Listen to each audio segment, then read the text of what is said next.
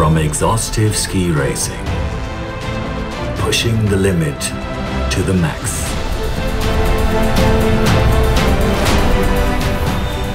To completely calm, steady shooting. The combination of two incompatible skills, biathlon is contrast. Among the top three winter sports in Central Europe. Exciting audiences in all nations. With 2,000 hours of television per season. Widely broadcasted in 21 countries.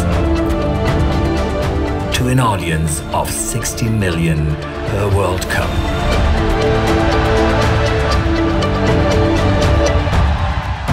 Biathlon today is a winter sport force 56 national federations, 23 licensed venues, 9 World Cups per year, and 1 World Championship.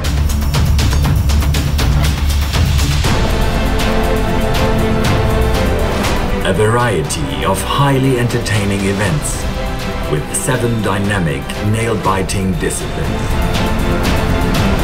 Idols and fans, heroes and runner-ups, triumph and tragedy, all in one competition. 25 years of federation history. One biathlon family. IBU, the International Biathlon Union.